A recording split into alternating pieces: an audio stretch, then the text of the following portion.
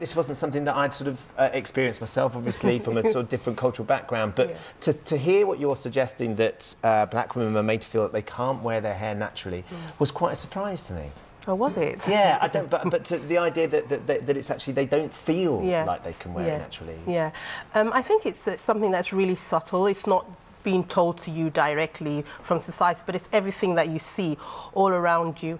And when you see um, professional women or professional black women, they all have straightened hair and as you grow up you know you're told that if you want to be successful in life if you want to go anywhere you have to have your hair look presentable and what's presentable hair it's straight hair so um, from Is very it young though? Because your hair's not straight and it's hugely presentable oh presentable. thank you Well, it is. I mean, there's nobody that would say it's in any way, whatever job you were doing, you know, because some jobs have more yeah. formal, Hmm. uh, you know, ideas of what's presentable than another. No one's going to say you're not neat and tidy.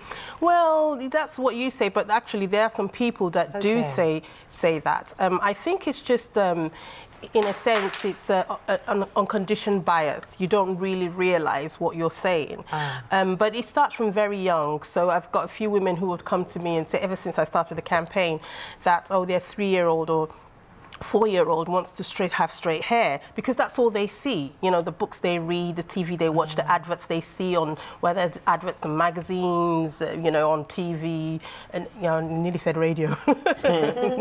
but yeah, so so it's just that subtle thing of you know, if you want to look beautiful, if you want to look presentable, this is how you're supposed to look. And it's not just hair; it's, it's body as well skin tone, body shape, you know, but hair is just, you know, thrown into the mix. Dermatologists and trichologists will tell you that using the chemicals on your hair to straighten it is dangerous. Using straighteners um, as often as we have to use straighteners if we want to keep our hair straight is dangerous. It breaks the hair. And you see little girls, four-year-old, five-year-old, having, you know, the hairline of maybe say someone who's much older, is in 80 or 70 it's all years old, broken off. because it's broken off.